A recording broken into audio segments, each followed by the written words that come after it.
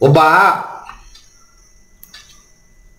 ಗುರುಗಳ ಹತ್ರ ಹೋಗ್ಬಿಟ್ಟು ಪ್ರಶ್ನೆ ಕೇಳ್ದ. ಕ್ರೈಸ್ತ ಧರ್ಮ, ಜೀಸಸ್ ಕ್ರೈಸ್ಟ್, ಭಗವಂತ. ಮುಸ್ಲಿಂ ಧರ್ಮ ಅಲ್ಲ, ಭಗವಂತ. ಇತ್ಯಾದಿ ಇತ್ಯಾದಿ ಧರ್ಮಗಳು ಯಾವುದೋ ಒಂದು ವ್ಯ- ವ್ಯಕ್ತಿ ಭಗವಂತ. ಹಿಂದೂ ಧರ್ಮದ ಭಗವಂತ ಯಾರು? ಗುರುಗಳಿಗೆ ಪ್ರಶ್ನೆ. ಗುರುಗಳಿಗೆ ಪ್ರಶ್ನೆ ಕೇಳಿದ ಒಬ್ಬ ಭಕ್ತ.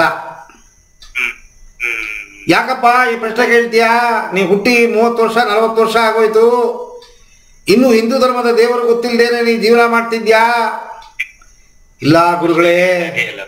ಕೈಗೊಬ್ಬರು ಕಾಲಿಗೊಬ್ಬರು ಕಣ್ಣಿಗೊಬ್ಬರು ತಲೆಗೊಬ್ಬರು ದೇವರನ್ನ ಸೃಷ್ಟಿ ಮಾಡಿಬಿಟ್ಟಿದ್ದಾರೆ. ಯಾರು ಸತ್ಯವಾದ ದೇವರು ಅಂತಲೇ ಗೊತ್ತಿಲ್ಲ. ಯಾರನ್ನ ನಾನು ಯಾರನ್ನ ನಾನು ಪೂಜೆ ಮಾಡಬೇಕು, ನಮಸ್ಕರಿಸಬೇಕು ಅಂತ ಅನ್ನೋದೇ ಗೊತ್ತಿಲ್ಲ. ಯಾವ ಭಗವಂತನ ಪೂಜೆ ಮಾಡಿದ್ರೆ ಭಗವಂತ ನನಗೆ ಒಲಿತಾನ ಅಂತ ಅನ್ನೋದು ಗೊತ್ತಿಲ್ಲ. ನೀವು ಮಹಾಗುರುಗಳು, ಯೋಗಿಗಳು, ಸತ್ಯವನ್ನು ಹೇಳ್ತೀರಿ ಅಂತ ನಿಮ್ಮ ಹತ್ರ ಬಂದು ಈ ಪ್ರಶ್ನೆ ಕೇಳ್ತಿದ್ದೀನಿ. ನನಗೆ ಸರಿಯಾದ ಉತ್ತರವನ್ನು ಯಾರು ಕೊಟ್ಟಿಲ್ಲ.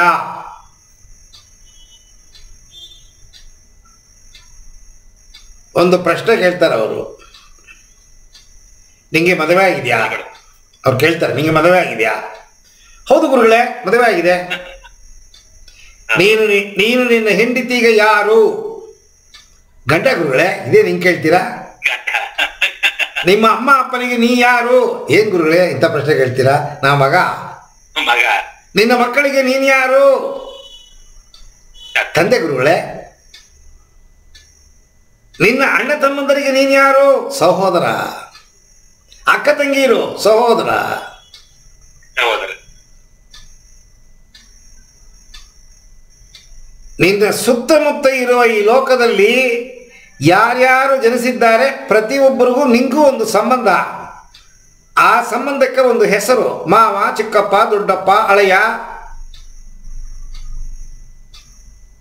ಏನೋ ಒಂದು ಪೊಸಿಷನ್ನು ಏನೋ ಒಂದು ಸಂಬಂಧದ ಒಂದು ಹೆಸರು ಇರ್ತದೆ.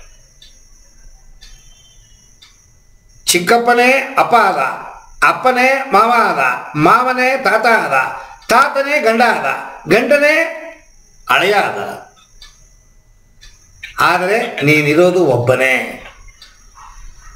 ನಿನ್ನ ದೈಹಿಕ ರೂಪ ಒಂದೇ ಇದ್ದರೂ ಕೂಡ ಬೇರೆ ಬೇರೆ ಬೇರೆ ಬೇರೆ ಬೇರೆ ಬೇರೆ ಕೆಲಸಗಳನ್ನು ನೀನು ಮಾಡ್ತಾ ಇದ್ದಿ. ತಂದೆ ರೂಪ ತಮ್ಮನ ರೂಪ ಗಂಡನ ರೂಪ ಅಪ್ಪನ ರೂಪ ಅಣ್ಣನ ರೂಪ. ಭಗವಂತ ಒಬ್ಬನೇ. ಹಿಂದೂ ಧರ್ಮ ಅಂತಲ್ಲ ಎಲ್ಲಾ ಧರ್ಮಗಳಲ್ಲೂ ಭಗವಂತ ಒಬ್ಬನೇ. ಒಬ್ಬೊಬ್ಬರು ನಿನ್ನ ಹತ್ರ ಬಂದಾಗ ಒಬ್ಬೊಬ್ಬರಿಗೆ ಭಗವಂತ ಒಂದೊಂದು ರೂಪದಲ್ಲಿ ಕಾಣ್ತಾನ. ಆದರೆ ಒಬ್ಬನೇ ಭಗವಂತ. ನೀನು ಹೇಗೆ ಎಷ್ಟು ರೋಲ್ ಮಾಡ್ತೀಯ ನೀನು?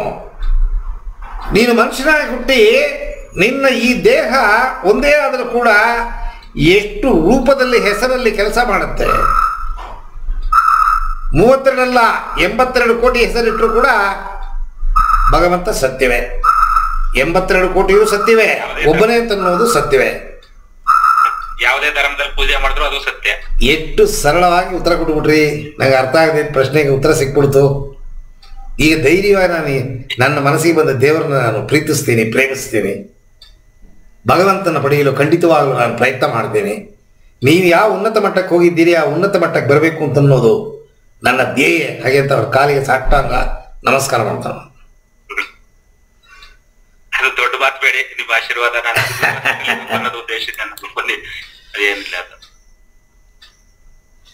ಸೊ ಆಧ್ಯಾತ್ಮ ಯಾವುದೇ ಧರ್ಮದಲ್ಲಿ ಏನ್ ಆ ಹೇಳಿ